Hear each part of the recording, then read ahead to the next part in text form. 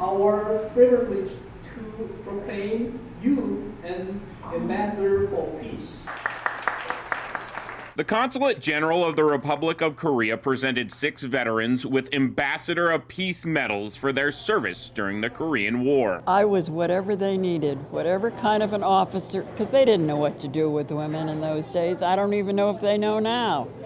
But then they didn't, and so whatever they needed at a base that I was sent to, that's what I was.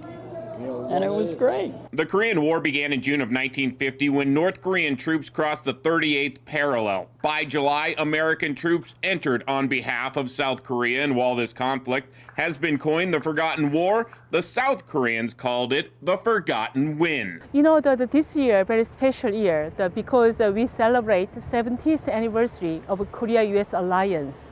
The, taking this opportunity, I came here to honor the, you know, the Ambassador Medal for Peace to Korean War veterans who didn't get yet the, that medal. The six Korean War veterans enjoyed interacting with the South Korean delegation at the Idaho Veterans Home in this surprise ceremony. Can't believe I, I, I got this. Why in the world did they give me this wonderful thing?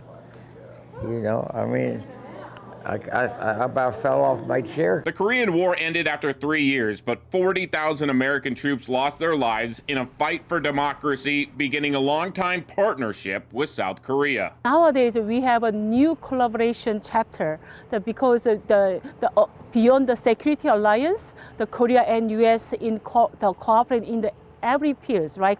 Economy security and also the global, the, you know, the issues like dealing with Ukraine and the climate change or emerging technologies. We should never forget the Korean War veterans' sacrifice, even if they have a hard time remembering back to 1953 when the war ended. Oh heavens, it was so long ago. Do you realize I'm 91?